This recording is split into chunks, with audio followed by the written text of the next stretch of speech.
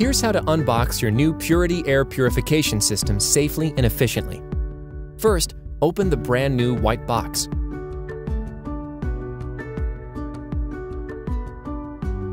It's important to begin by reading the manual. Next, remove the styrofoam lid from the top of the box and set it off to the side. Gently tip the box onto its side before carefully sliding the unit out and setting the box aside.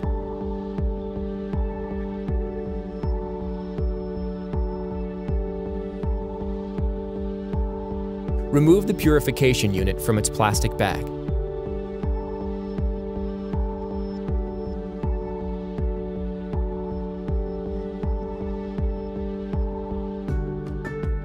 Read the instructional label on the front of the unit. Please note that you must remove packaging from the filters inside. To do this, gently open the front panel and lay it on the floor. Pull the pre-filter out using the finger loop. If your filter has a plastic protector sheet, remove it.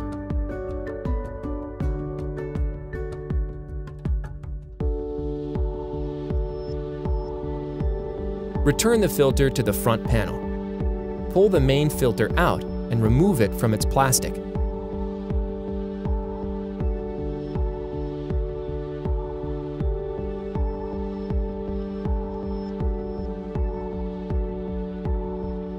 Return the main filter to the unit.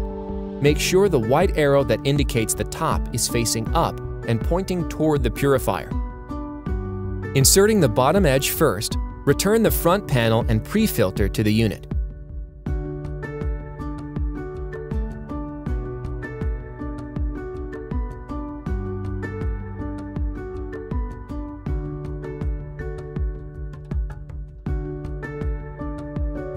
Now, plug the unit's cable into the back of the machine.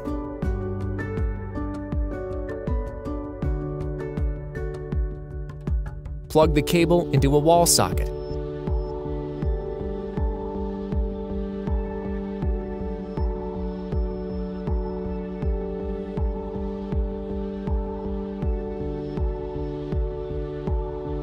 Turn the unit on by pressing the fan button. Pressing the fan button again will adjust the fan speed. The power button turns the unit off. Turn on and off the ionizing needle by pressing the ionization button.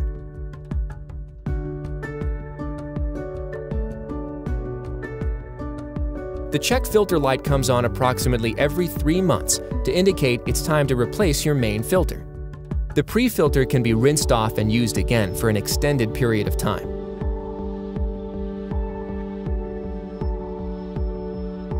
You also have the option of operating your system with a handy remote. First, pull the battery tab from the remote.